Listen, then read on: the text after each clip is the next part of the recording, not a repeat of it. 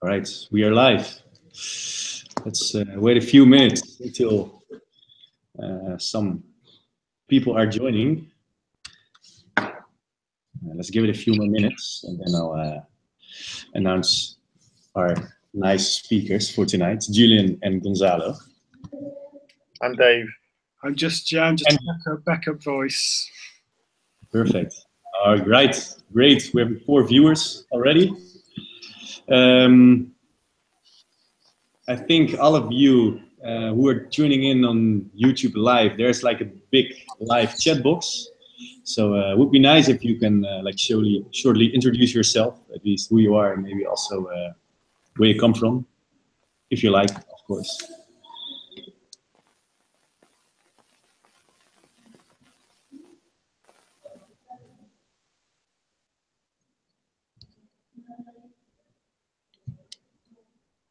And uh, in the meantime, before we really start, I actually have some uh, nice, good news, um, also related to the communities worldwide, and that's that we are uh, this week we um, started uh, our presence in the 89th country, which is uh, Mongolia.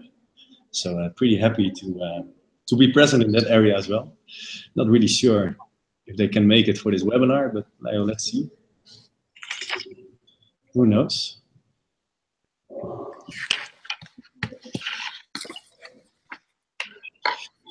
And uh, also for the introduction, next to me at the other side of this table, we have uh, Rish. And Rish is also helping out with uh, the Q&A session later on. So uh, we have our global community manager of the Things Network present here as well. So uh, if you have any questions related to Rish, then uh, you are also free to ask it later on during this webinar. All right, let's wait a few more minutes. Let's say two more minutes, and then we can uh, we can start. Uh, great, we have someone from India. Welcome, Ashish. Great having you around here.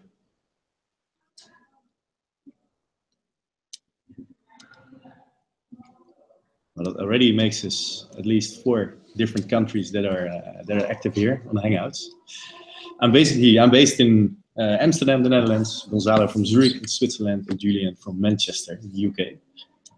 And uh, Rish, who is sitting next to me, is also from uh, from India in origin.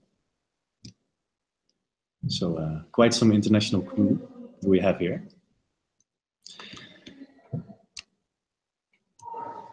Good. All right. Thank you all for joining. Um, maybe a few small things um, before we really start is that we have a, uh, a nice live chat feature on the um, YouTube live. So if you have any comments, if you have any questions, um, remarks, or whatsoever, please use this live chat. Um, and for the ones that are haven't done a live webinar yours, uh, yourself, then it might be sometimes a bit strange because you're talking to a computer screen, not really to a uh, live audience. So it might be nice if you, at least if you have something to appreciate, that you mention it in a live chat. Um, so at least we know that we are saying some good stuff along the way. Um, so this uh, will take about one hour.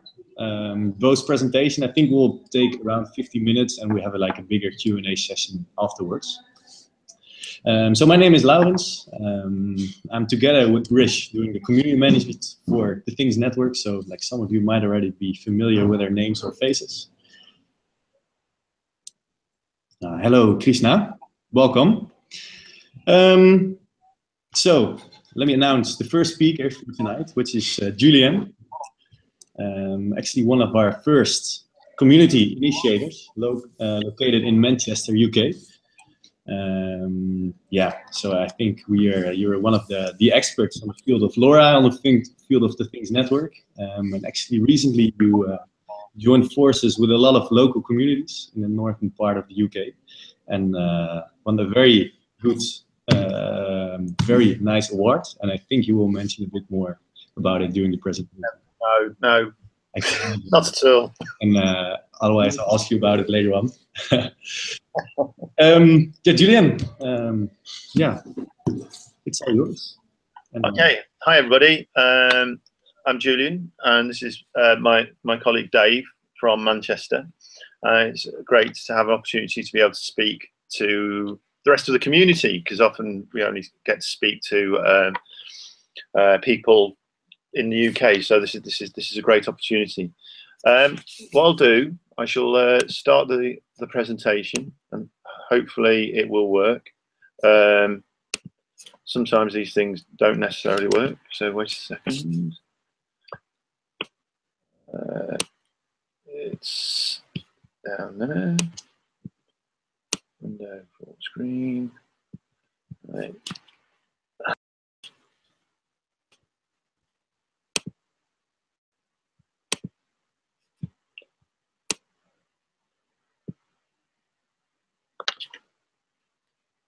Right. Uh, can everybody see that? Oh, it actually just dropped again. Your screen sharing. It Stop. Do it again. And then uh, in the meantime, while you're setting up this presentation, I'll uh, I'll post the link of your community uh, community page of uh, the Things Network Community in Manchester. I put it in the, the live chat. So uh, right, okay. So um, can you see the uh, this? I'm going to screen share it now. Can you can you see the screen like that? I, I cannot see it yet. No. Yes, there was it for for but it's yeah, per, but it's I can see it now. Yeah, see now. So I, I won't go to full screen because I, I, think uh, Google doesn't like Adobe, um, and I think that's obviously some bug in the system. So yes, um, hi, hi. Um, really great to uh, get a chance to talk to you. Uh, I want to tell you a little bit about uh, what we are, where we where we come from, and I suppose myself and Dave have been working in IoT for quite a long time, and we've done some uh, pretty uh, bonkers um, IoT projects. Um, quite a lot of them to do with, um, I suppose, creative digital arts-based stuff, but but not um, not uniquely. Um, the picture you can see is a um, a pollution mapping project that we did in Manchester. We have lots of canals not quite as nice as Venice or Amsterdam. Um, but they were. Uh, but what we were doing is we were we were putting uh, GPS units into balls and we're kind of mapping the flow through the canal system. Um, unfortunately, uh, LoRaWAN and the uh, Things network wasn't available at that time, so um, it ended up being quite expensive because we had to spend lots of money on uh, on uh, SIM cards.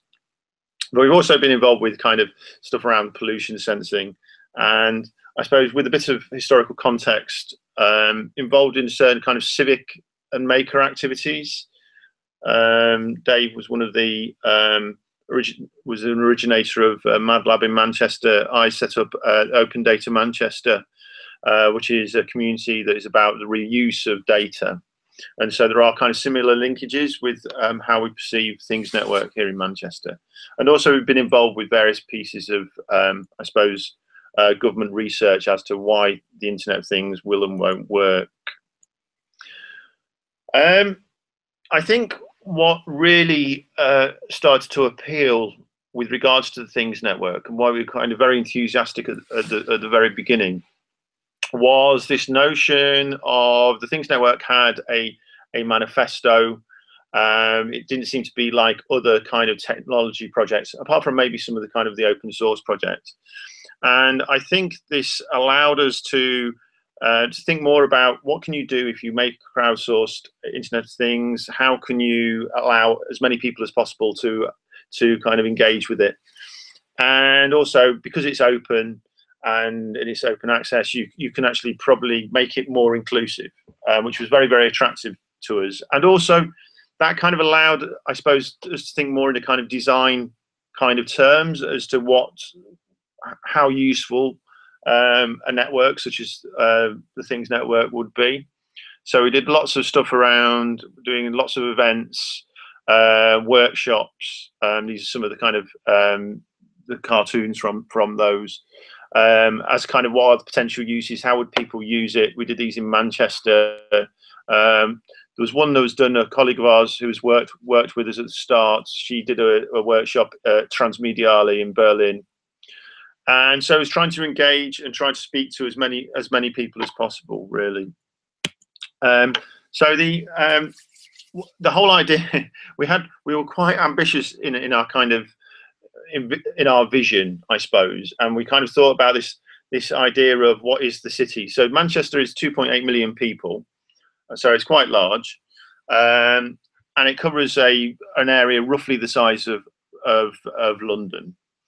But I but we worked out using or building the things network, we could potentially cover the whole region with 30 gateways. So we set ourselves the task of how can we um, build an infrastructure from the Pennines. So we've got quite high hills on one side of Manchester to the Cheshire Plain, which is kind of out towards the sea. So it's like, how can we occupy this space? How can we how can we kind of put a flag down um, saying that uh, LoRaWAN, this technology should be for, for community and public benefit before it became, uh, I suppose, swamped. Privatized and commodified, yeah, uh, commercially operated space. Yeah, exactly. so it's, it's, it's, this kind. Of, we can use this for, for public good. So that was the kind of that was kind of the that was the kind of vision.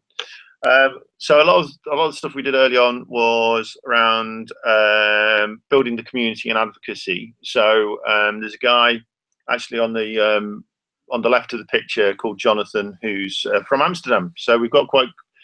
So we, we were over in Amsterdam quite a lot, and, and obviously we were just kind of um, awed by the stuff that you were doing. So Jonathan came over, spoke to a, a, a workshop. We run monthly events uh, for people to kind of get to know the technology, and we've we've kind of done we've we uh, both myself and Dave have spoken all over the country and on a couple of occasions internationally, if you call the Isle of Man international, um, and, and just kind of kind of encourage people to kind of become part of it.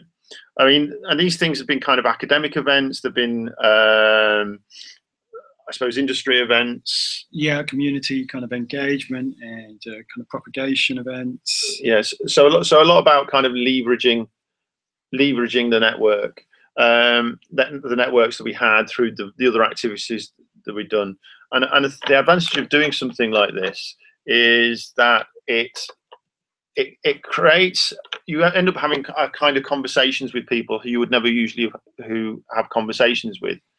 So we're not actually um, so we're not selling anything. Well we're selling an idea. So we're trying to encourage people to um, to kind of put equipment on on on their on their uh, assets. And one of the earlier conversation earliest conversations that we had were with people such as the, the fire service in Greater Manchester, who kind of really liked the idea that you could you could start to build something that had public good. Um, but that's just not uniquely. I mean, through these conversations, through talking to lots of people, going out there, um, uh, we've kind of we have people who kind of businesses who kind of were interested in in putting stuff up, and even even residential properties, and, and we kind of went down the the the the, the approach of how well how can we make something um, there's a photo in the middle of the slide that, that shows this kind of a unit that you could fit onto the outside of a house that will basically uh, manage the internet connection for you.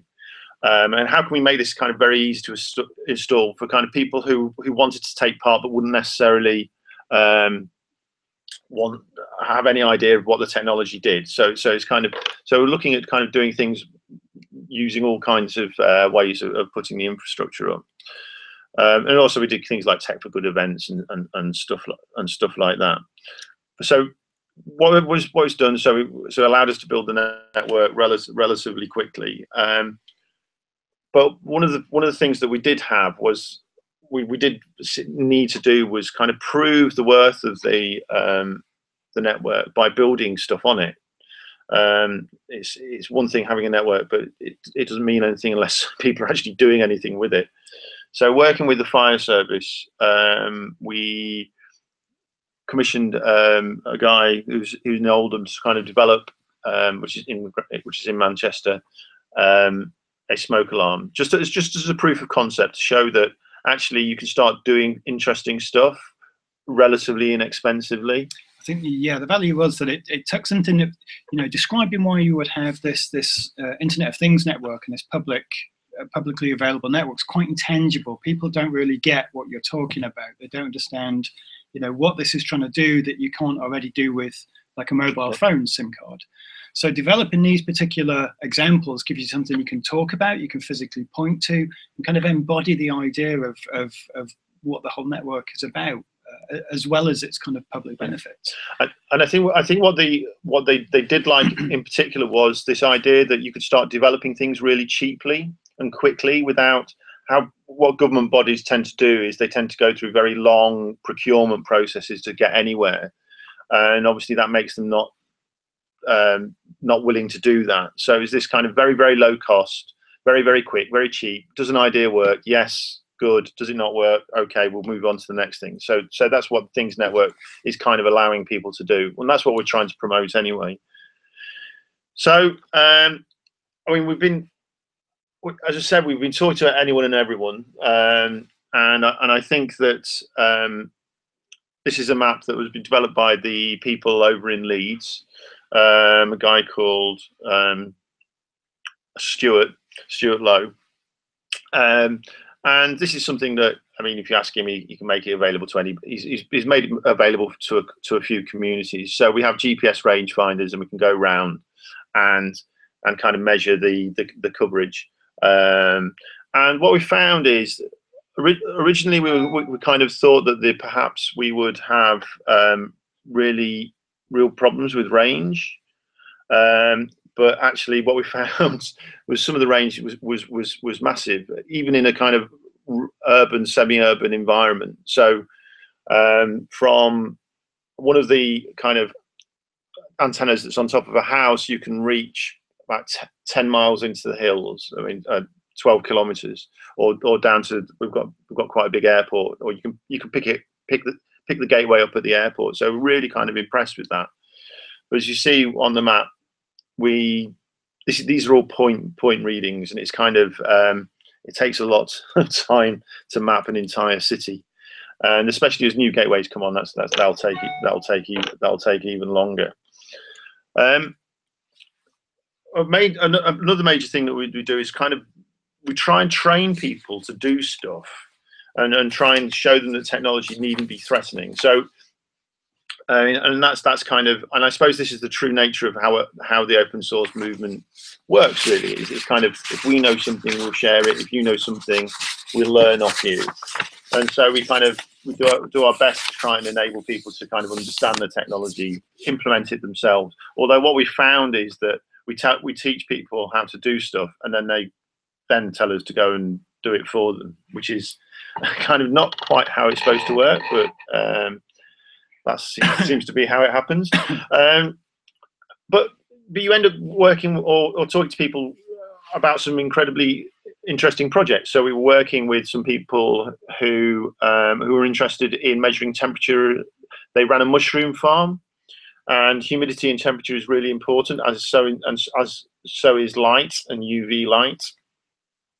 So it's kind of working. How can they use how can they use these technologies to enable them to kind of remotely monitor their their mushroom crop? And also there was um, there's a project that was that was suggested um, measuring the the health of bees through the sound and temperature of the hives.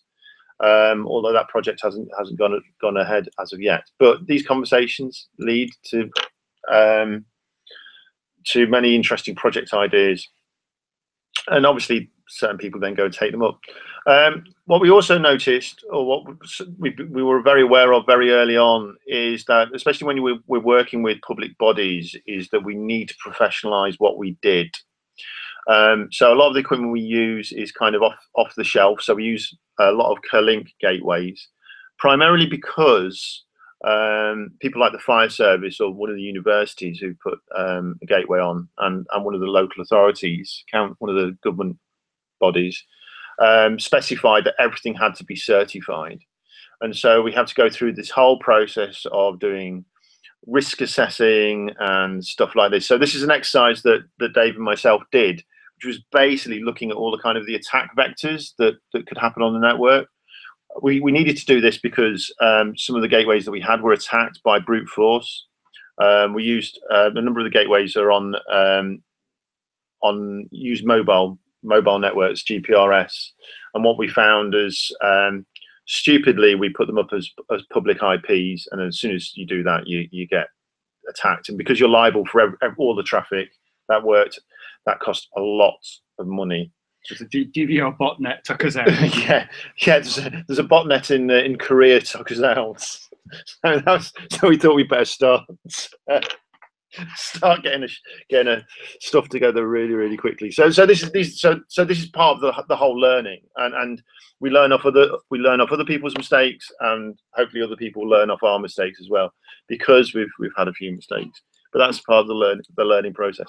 Um, so yeah, coming to this kind of the communities in in the north of the UK. So um, if you if you're ever in Manchester, do come to Manchester, uh, be our guests, use the network. That's what it's all there for.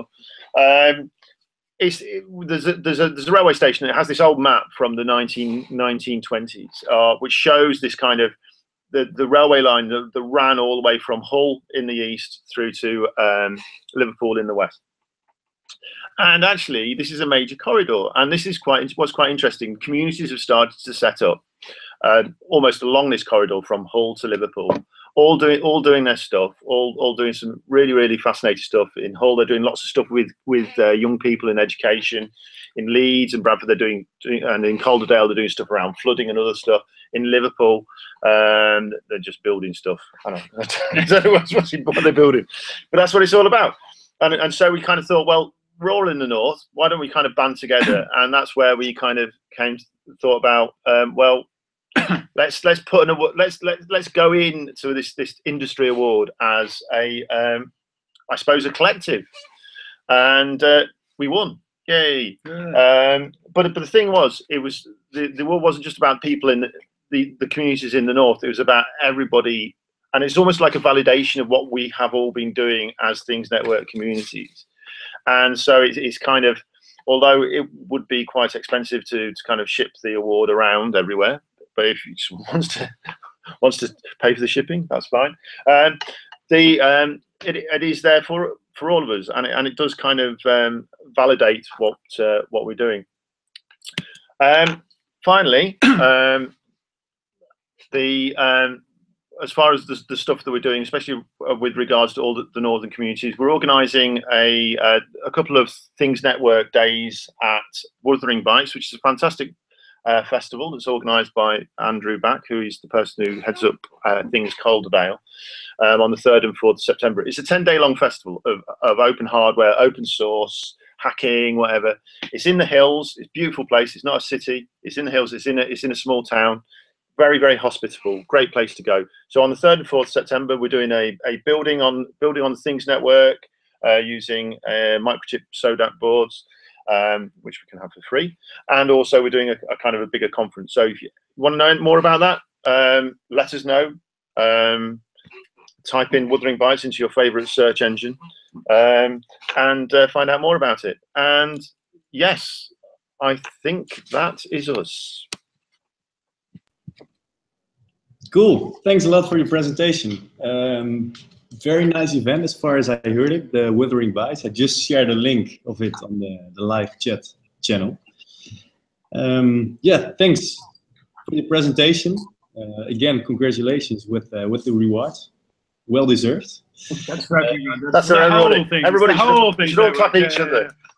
Clap yeah, great work. All right, uh, we have time for let's say uh, like one or two questions, and then I suggest we move on to Gonzalo, and then at the end of the session we can have uh, like a few uh, longer Q and A parts. So if anyone uh, has a question, feel, feel free to put it in the live chat. Um, and for now, actually, you already mentioned it um, that you. Uh, know, yeah, you were one of the first communities, so you made quite some mistakes. I'm pretty curious. Like, what is the thing you highly recommend others not to do? Don't put anything on a public IP address without a VPN. yeah, you just get found. Particularly if you're paying the bills. Yeah, and yeah, I mean, that was that was such a, a costly. We we were we were kind of forced into the route of, of going down that way through um, the uh, some of the people who wanted um, antennas on the on their buildings because they and what you find with public bodies, they will not generally not allow you to connect into their IT systems. Sysadmins are that they will just they'll think of every reason why you cannot connect to gateway, and so um, using uh, SIM cards GPRS was an obvious solution. But we th- we thought the devices were kind of well protected. We thought we'd lock the security down, and we did have you know devices well configured. There were no inbound ports other than SSH running on very non-standard ports. So you know even kind of pretty stupid botnets shouldn't have hit them. What we didn't consider was that you pay for the traffic costs before you can reject those packets, and that's a cost that particularly hits you with uh, 3G based networks. Uh, so that's a very value. We'd like to share uh, our expensive lesson. Yeah, and I, I think we, uh, I think we shared we've shared that before. But yes, I mean if, if we because we were using because the great thing about LoRaWAN is that it you you don't the throughput of traffic isn't that big, but when you've got 49 gigabytes of traffic going through uh, one gateway, when someone's video recorder every two minutes, is, uh, someone's room full of video recorders is uh, checking you out every two minutes. Yeah. It's uh, quite pricey. yeah, it is. So yes, All right, good. So be careful with public IP addresses and uh, don't. don't. Good. Use proper VPN or GPRS solutions. All right. Good. Good. Um, all right. I, I, I'm pretty curious about. Oh, let me have one more question and then uh, let's let's move on. So you mentioned that the uh, the mushroom crops monitoring, Yes. uh, which, which sounds to me quite a uh, like an easy solution for like, getting started. You mentioned like um, like trying to get really started with these tangible solutions um, from making Yes. or IT more more tangible. So how does that work? How can I how can I make one myself? Well, We've got one. No, we don't have one right here. I mean, you know, things like this are very simple. There's a lot of very simple uh, sensors. You know, light sensors are kind of next to nothing these days. Uh, Yeah. Um, uh, moisture level sensors are very, very easy to whip up. So they're things you can sit. You've probably got kind of old Arduinos kicking around. You can wire this sort of thing together on. In terms of reading the sensors, it's it's very trivial work. Uh, and then it's just a matter of bridging across to a LoRaWAN gateway. And what we've also done is we've found that uh, working with Node-RED is, is kind of revelatory uh, for people because it's a great way of processing uh, Yeah. data, pulling data off, and people are not intimidated by that. So we found one of the ways, you know, one of the barriers is people of often come to this and think they're Mhm. going to be terrified of, uh, you know, this world of suddenly having to get into C or assembler programming to kind of manage and work with data. mhm. But as soon as we show them Node Red, they're surprised by you know how easy it is to, to get to that sort of thing. yeah, So we found that's a kind of a really really good way um, to kind of uh, take the fear away for people. So there's a lot of very simple tools, kind of old Arduinos, lots of old off-the-shelf um, hardware and software that you can work with, and then gluing things together with Node Red is a really quick way to kind of um, get that stuff processing. yeah, and, and, and a lot of, and a lot of boards now do have light and um, humidity, temperature and humidity sensors on them. So it's almost like you guys look. This this will cost you 15 euros, um, and it works. You don't need to do anything. All you need to do is program the keys. It's, it's, just like that. And also, I mean, what was what was really good about the, the guy we so we did the mushroom hack um, project, and actually the guy lived eh, somewhere else where there's another another uh, things community. So it's kind of we just put him in touch with that community and said, speak to these guys. If you when you, when you build it, discuss it with them, build it. You can connect it over there. You can bring in mushrooms here if you want, but you live over there, kind you of don't thing. even need to tell them; you can just use the network. Yeah, yeah. Nice, nice. Good use case. So you just need temperature, light, a bit of humidity, connected to the Things network. Use Node-RED. Very easy drag and drop platform. I uh, experienced quite some uh, a bit with it as well. And uh, you just make sure you get a gateway or be somewhere in range. And uh, yeah, it's a good start. Definitely. Good. Um, with Julian, Dave, thanks a lot. We'll get back to you a bit later after uh, Gonzalo's presentation. Um, so, Gonzalo, Hello. welcome. Yeah. Um, as well, one of our first initiators, and uh, I think our most one of our most active contributors um, on the community level, but also um, yeah, many issues, uh, pull requests you already submitted on uh, on the Things network, on our backend, on, on whatsoever. So I'm um, very happy to have you here as well. Um, I think, um, well, I think I'm more or less sure that Zurich has now most of the gateways, uh, more gateways than any other community in the world. Um, so yeah, I'm, I'm, looking forward to hear your story about how you uh, how you created this, realized this. Um, and there are many other things I can talk about, uh, like the, the great hackathon you organized, uh, the non-profit foundations you set up. Um, I guess like some of it will be covered in your presentation. So uh, please go. Okay, so well, uh, welcome everyone. Uh, great job, guys, in Manchester. I love what you're doing. There's a lot of parallels between between you and you and us. Um, but first, let me share my screen.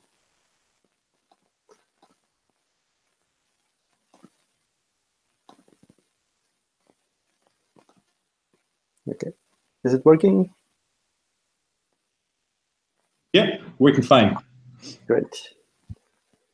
Okay, so um, I'll start from the beginning. You know, as, as most other communities, we we started with the with the local meetup group um, back in 2015 in August, like very soon after the Things Network was was public, and um, uh, immediately as soon as we started putting up some gateways like the first couple of gateways were were on and we we saw how the community was ramping up. The the engagement was instantaneous once there was something in there.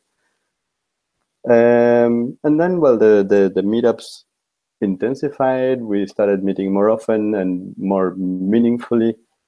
And uh, meetups are still the center of the of our community. Uh, we we notice that every time immediately after a meetup, there's a peak of activity of every of all kind. People start doing things, playing with uh, playing with toys and and all that.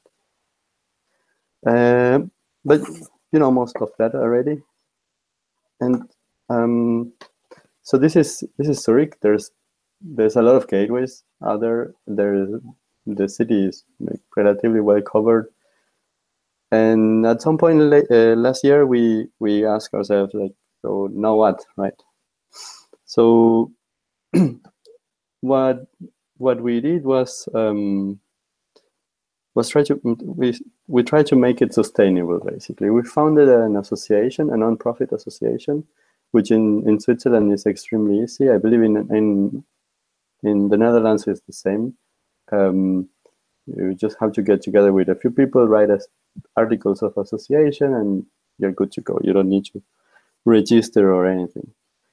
So the um, the purpose of this associ association is is generally to build trust in open networks.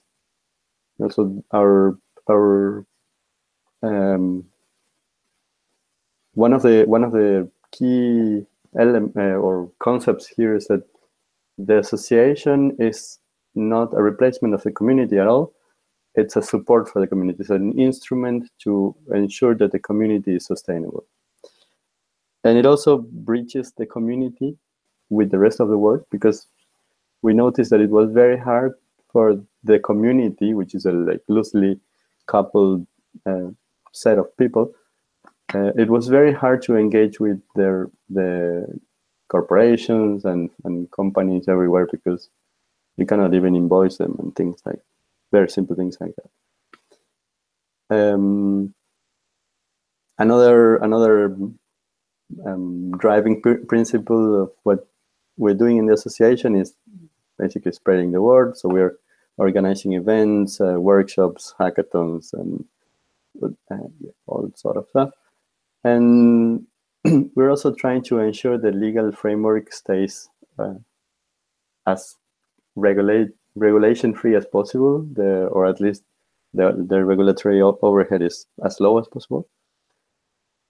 Um, and in, in very, very general terms, what we are aiming to do with this concept of building trust, because that, it's it's not entirely clear what an open network is or what what we're trying to define as an open source network, in fact.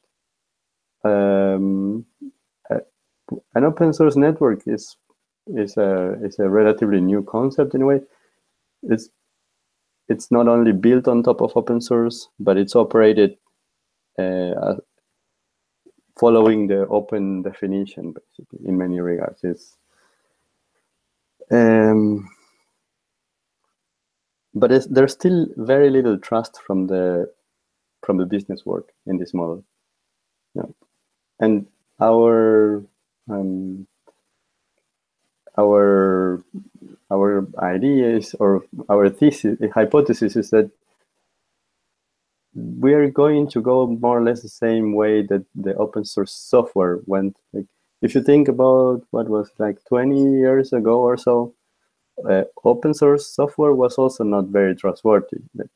Microsoft famously said that Linux was a cancer that had to be eradicated.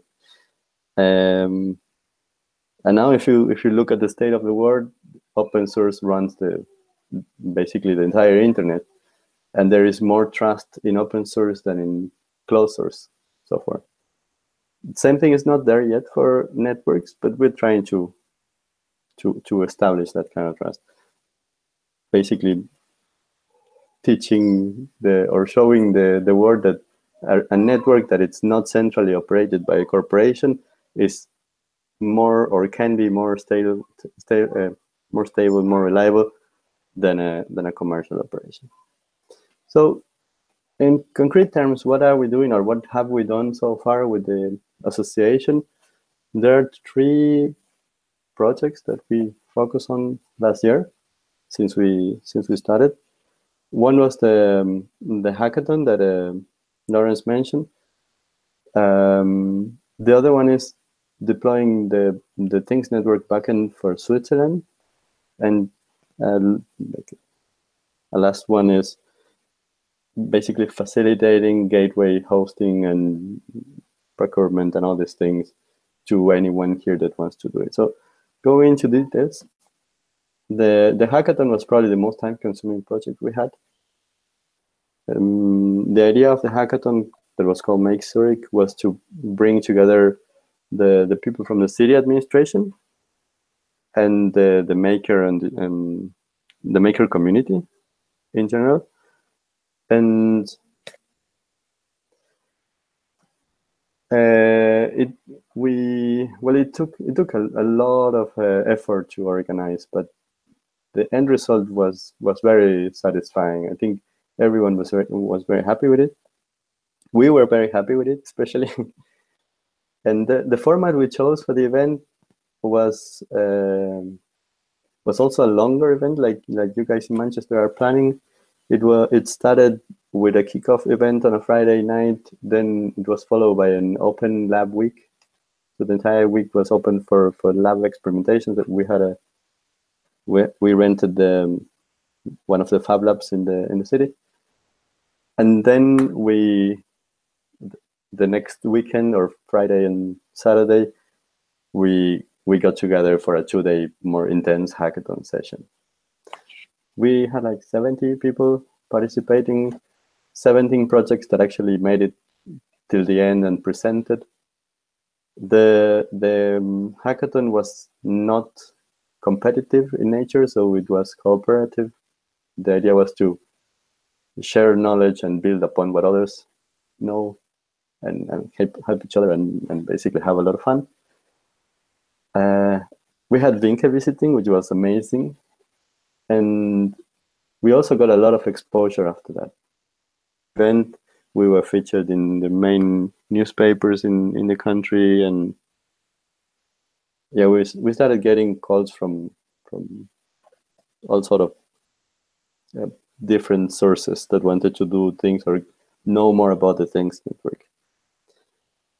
Um, one thing, like one lesson from the from organizing this hackathon, but we one of the ideas was to open source the event itself, um, which we're still working on how to exactly. But we did publish a very long report on on everything that we did towards the event, how we planned several things. There is a link at the end of the this this presentation, and well, it, in any case, it's in GitHub, so you can find it. Um, and one of the lessons we learned was that sponsoring, like getting money for these kind of events, is is actually way easier than what you might expect.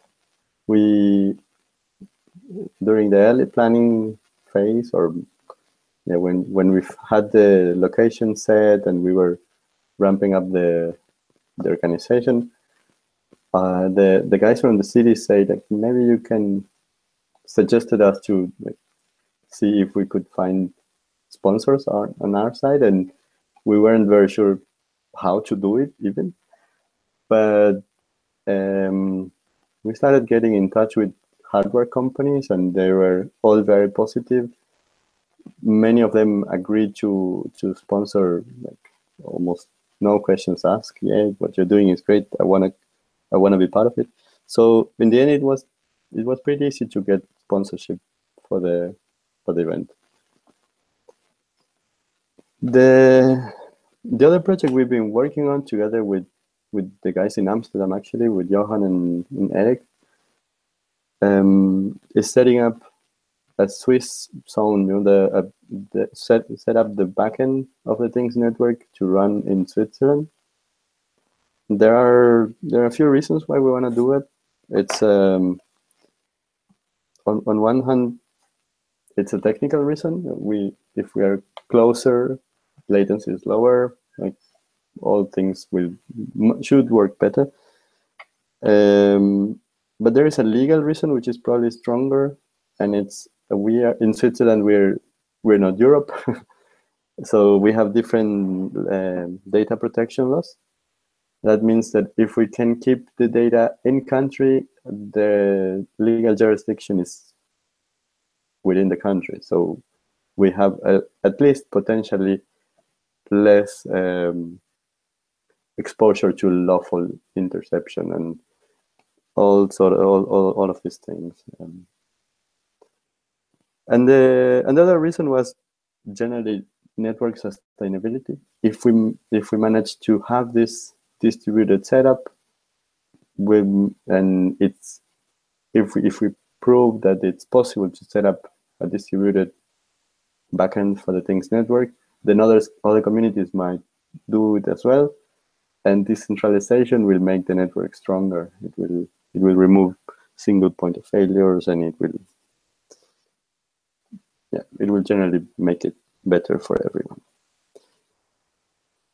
The the other project we have running, uh, but it's a bit looser in the definition is we try to facilitate gateways, like how to host a gateway, basically, because we we have a lot of or we see in a lot of companies, local companies, that um, they want to do this. They want to host a gateway, for example, but they don't have the the they don't have enough energy to actually pull through and do it. They would you know, they, maybe they go to a meetup and they say, yeah, that, that's a very nice idea, but then they don't move forward. And if we help them, then things actually happen. We we help them with the with the ordering process. We we try to explain how to how to host a gateway, basically. Well, things that they need to take care of, uh, like as you say, not putting it with a public IP address and this this sort of things. Um, yeah, so maybe some like random tips on how we run the association. I know that this is this cannot be generalized because every country is different, but some of the things that are general is uh, you will want to automate as much as possible, and this in this day and of the century, this is pretty easy to do.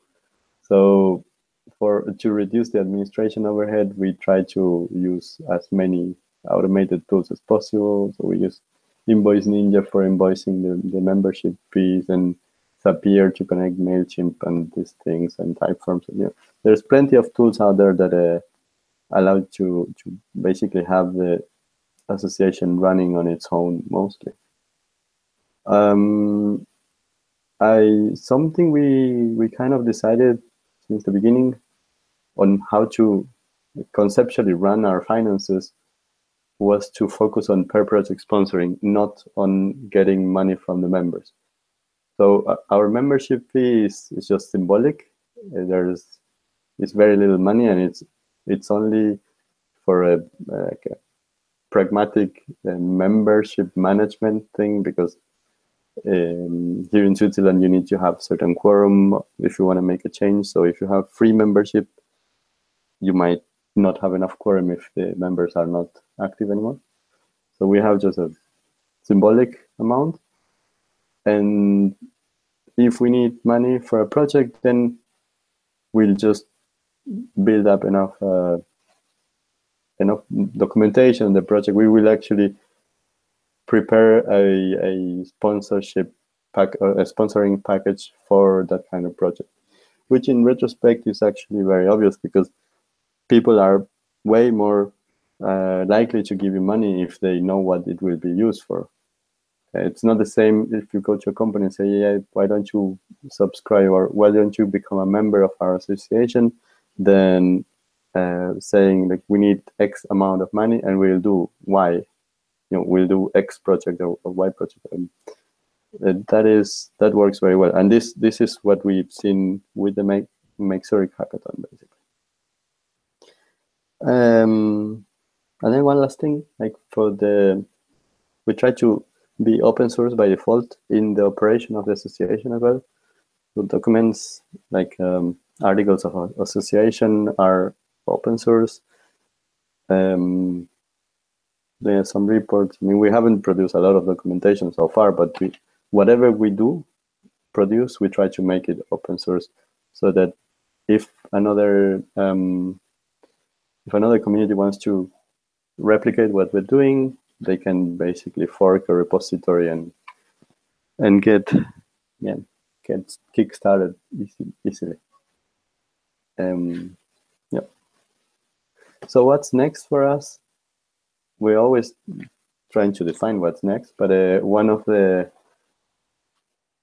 well, we will keep doing hackathons. That's almost for sure. We will um, almost for sure have a Make Zurich 2018 edition.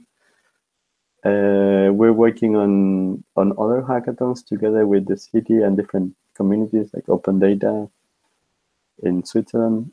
And we're also working on network monitoring and alerting for our local gateway operators because they that's one of the complaints they have is they they take the task like they basically operate the gateway but they don't really have the time to go and look and what's the status. So they would like a, some sort of solution for that so that they get alerted.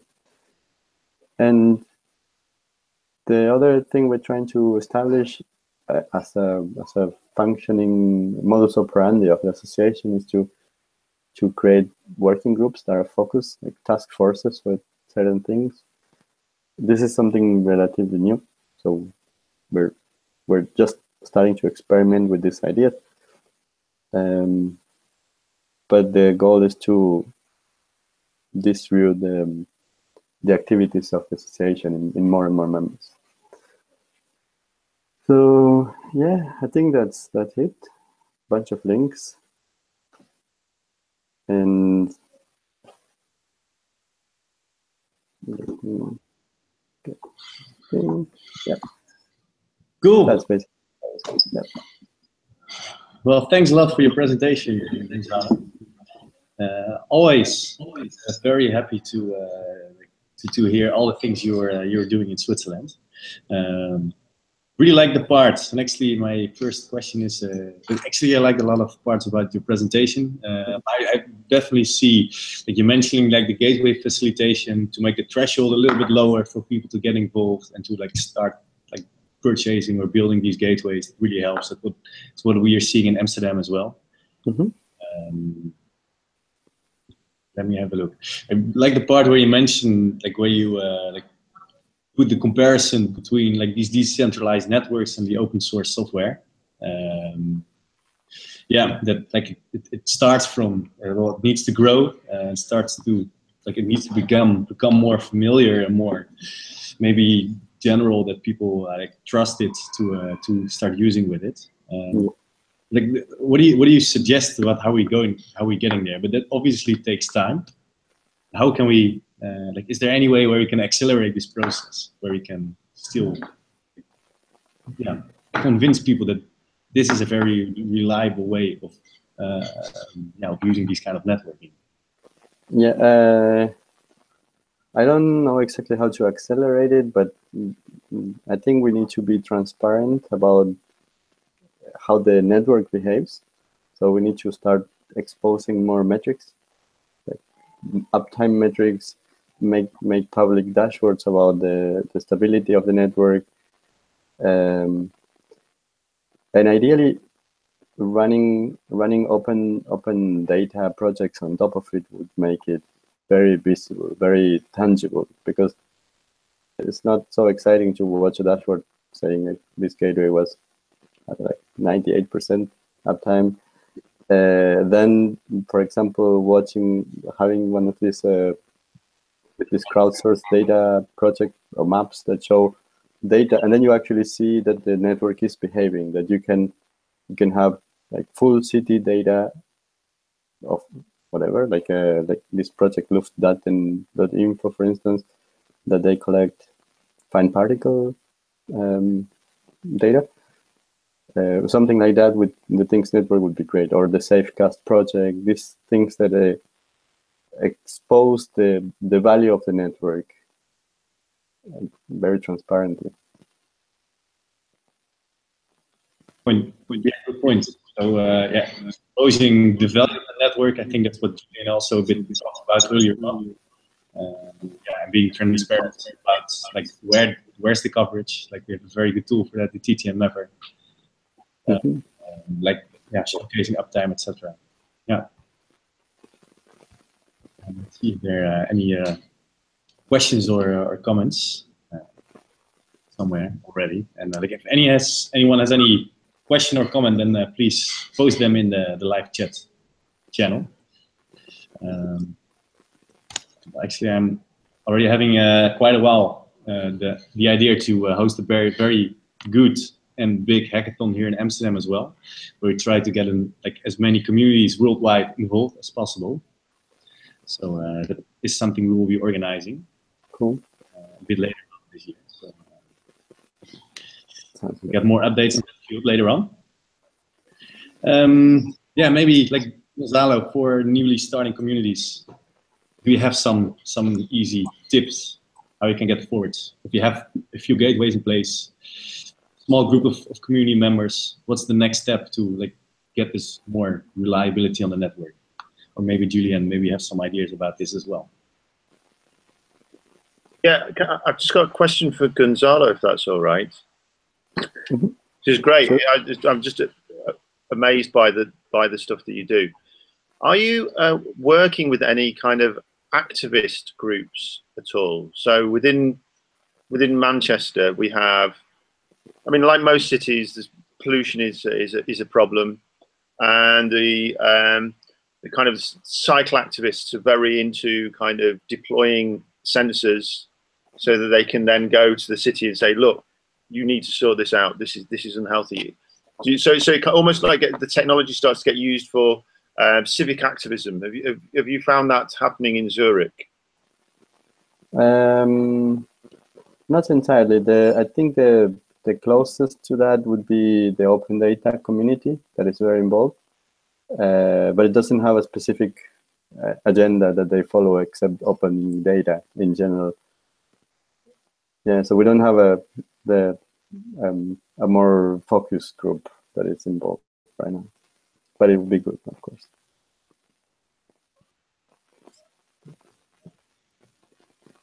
Yeah, nice one. One more question that I uh, that I had around fundraising, uh, because you started like asking for fees to join the association. You mentioned it's kind of a symbolic amount. Mm -hmm. um, like, do we see any? What what's the response of the community on this? Um, we we made it very transparent. We voted on what was going to be the amount when we when we founded the association, and we just chose a, a geeky, funny number. I mean, we wanted to go for 42, but it was too expensive. So then we we went for 23 francs a year, uh, which is is nothing. It's like the cost of a pizza a year, um, and it was big, also because we were 23 founding members on that on mm. that meeting. But it was really just kind of a joke. At some point, we said let's let's do one franc a year, but then we I don't know. one didn't didn't wasn't exciting enough, wasn't funny enough.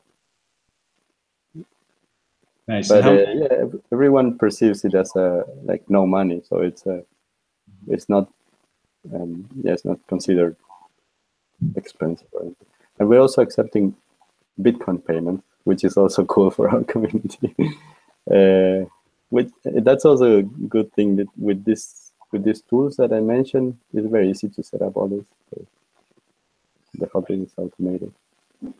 Fits quite well with the decentralized uh, infrastructure. So uh, yeah. nice. All right, perfect. Um, like I think we're uh, nearing towards uh, nine o'clock, so we almost uh, hit the hour on this.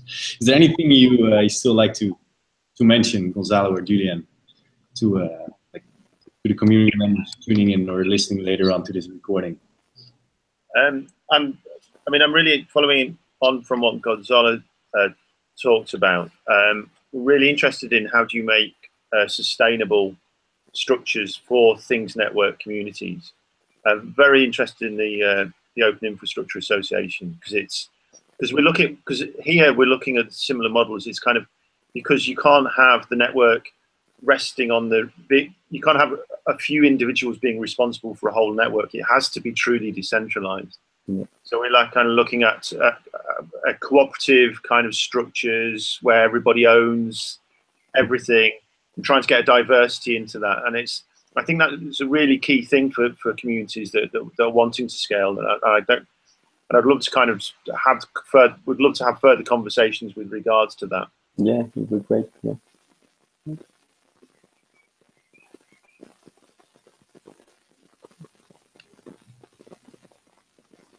Yeah, I think actually, if I uh, like speak here in in uh, from Amsterdam, um, you always have to deal with a like, relatively small core team that's um, like doing most of the work and trying to like involve all of the community, organize the meetups, checking in on gateway owners if there's an issue or if the gateway is offline.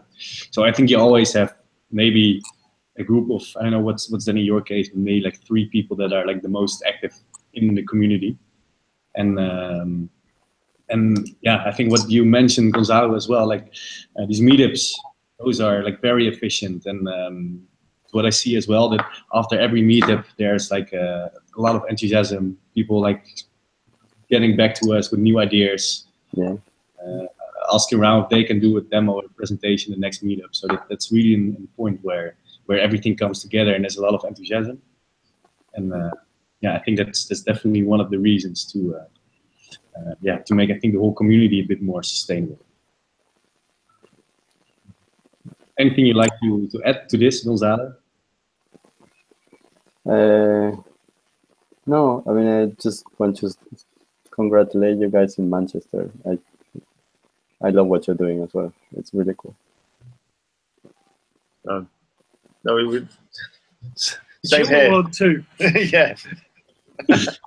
We just got to it. Yeah. Well, great. Let's uh, round off this uh, this webinar for now. Thank you all for uh, for listening, and thank you, uh, Julian and Gonzalo, for giving uh, this very good presentations. Um, so it will be recorded and put on, uh, on YouTube later on. Um, mm -hmm. so in case any one of you wants to re-listen it or miss part of the beginning or the end, then it's always available. So um, thanks again, and enjoy the rest of the day. Right. Thank you very much. See everybody. Bye. Bye.